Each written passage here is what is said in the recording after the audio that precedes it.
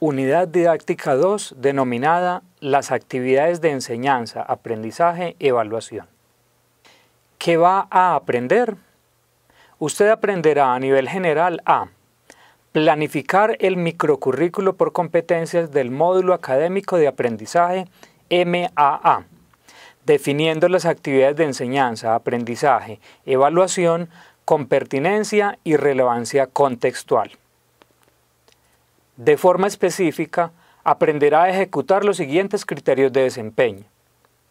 El primero es establecer las estrategias metodológicas en el enfoque por competencias. El segundo es establecer las estrategias didácticas formativas que garanticen el aprendizaje. El tercero es planificar las actividades de enseñanza, aprendizaje y evaluación AE, AE con base en los criterios institucionales y las estrategias metodológicas y didácticas establecidas. El cuarto es prospectar las tareas interactivas de aprendizaje, TIA, del módulo académico de aprendizaje MAA. ¿Cómo lo va a aprender?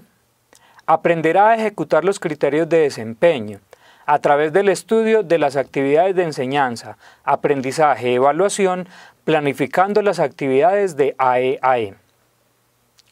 Debe realizar tareas interactivas de aprendizaje, TIA, de manera formativas y sumativas.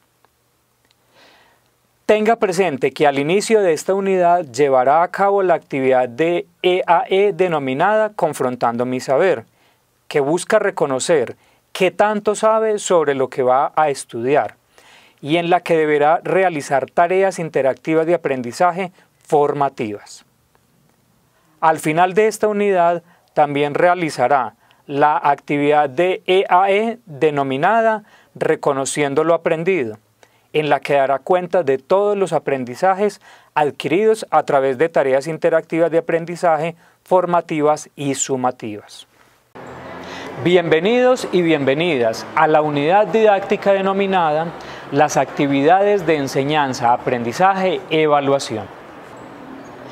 En esta unidad didáctica usted terminará de planificar su microcurrículo por competencias del área, asignatura o módulo académico de aprendizaje bajo el enfoque de integración de las TIC a través de metodologías dinámicas Aprender Haciendo, que le permitirá planificar las comprensiones y reflexiones críticas a los procesos planificadores y de diseño de los procesos formativos que actualmente adelanta en la institución universitaria Pascual Bravo.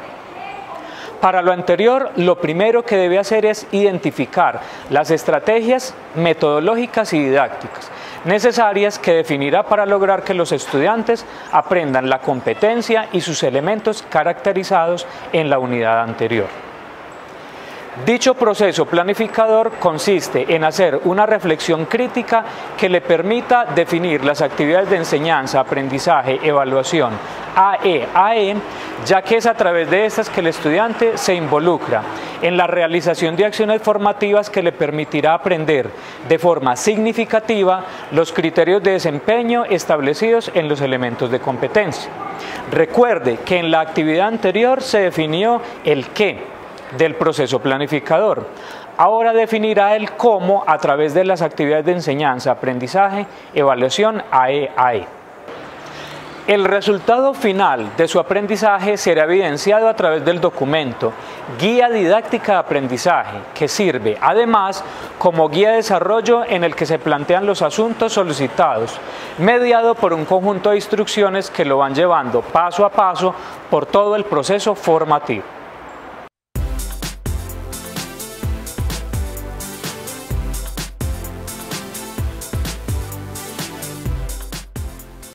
Alcaldía de Medellín, cuenta con vos.